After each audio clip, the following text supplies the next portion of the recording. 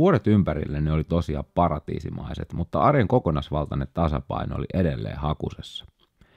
Olin Suomessa freelancer-elämää eläessäni tottunut pistämään itseni täysille likoon ja antamaan kaikkeni työprojekteilleni, joten joulusesongin jälkeen hiljentyneessä pienessä lumilautakaupassa työskentely alkoi taas tökkiä.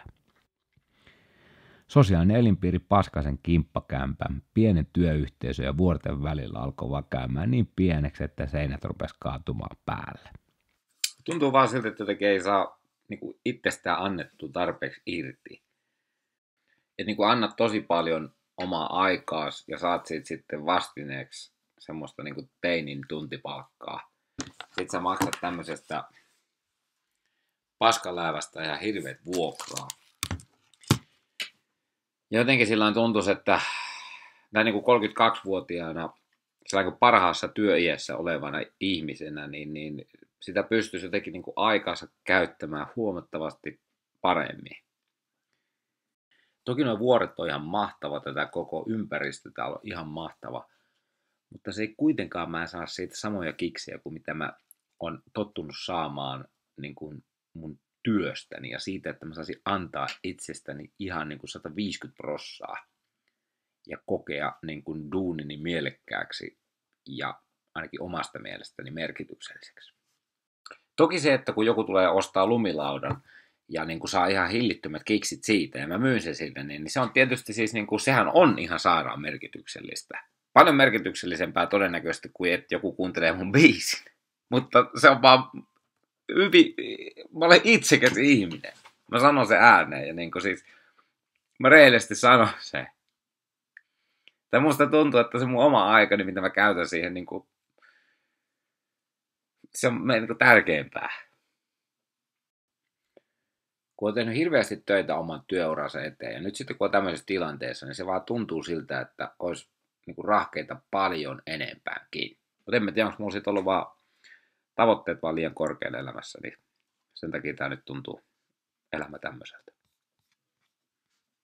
Samoihin aikoihin kotisuomesta kantautui taas uutisia, että kollegani, joiden kanssa oli vain vuotta aiemmin työskennellyt, pokkasivat patsaita gaaloissa ja vänsivät uusia hittejä TV-ohjelmissa, joten ajan tuhlaamisestani koituvat stressitasot nousi päivä päivältä. Tuskaani lievittääkseni pyrin taas aina kun mahdollista pääsemään ulos Whistlerin kuplasta vähän välimmille vesille. Whistlerin mainion kirjaston järjestämät ilmaiset luennot ynnä muut tapahtumat oli myös pelastukseni iltoina, joina kaipasi jotain muutakin tekemistä aivoille kuin rinnetiedoista ja säätiedotuksesta puhumista. Uskaltaudunpa jopa muutamia kertoja Whistlerin räkäsiin yökerhoihinkin, jotka tarjosi hetken helpotusta, mutta kostivat seuraavan päivän orastavine krapuloineen ja huolestuttavasti tyhjentyvine pankkitileineen. Yksi asia sai mussa kuitenkin syttymään sellaisen positiivisen tunnemyrskyn, jota en ollut pitkää aikaa kokenut. Ostin nimittäin Australian muuttaneelta työkaveriltani kitaraan, jota soittelin usein 11 tunnin työpäivien jälkeen. Hey, hey, my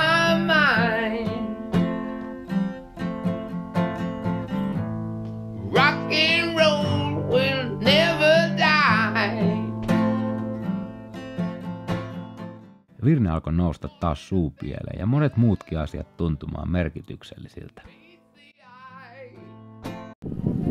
Se olisi taas uusi lauta jalkojalla. Mutta tällä kertaa ei ole oma, vaan tota, demolauta tuolta työpaikalta. Työpaikan työsuuden etuja pääsen testaamaan vimpan päälle upeita lumilautoja. Onhan tää yhdenlainen unelmaduuni kyllä. Ei voi muuta.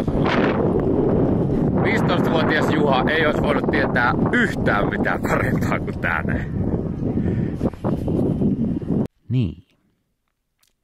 Siinäpä se asia ydin tulikin. Nimittäin koska 15-vuotias Juha ei tiennyt vielä paljon, niin hän osasi olla iloinen yksinkertaisista asioista. 32-vuotias Juha kuitenkin tiesi liikaa, eikä hänelle tuntunut riittävää enää mikään.